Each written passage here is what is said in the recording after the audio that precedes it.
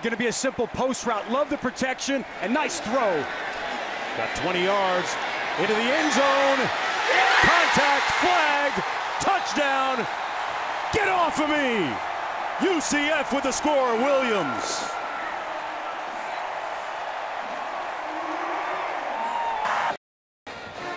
Dillon Gabriel on display. Protection's good. He moves to his left. How about this dime? Puts it right there where the defender can't get to it. Accuracy on display on this opening possession from the freshman, Dillon Gabriel.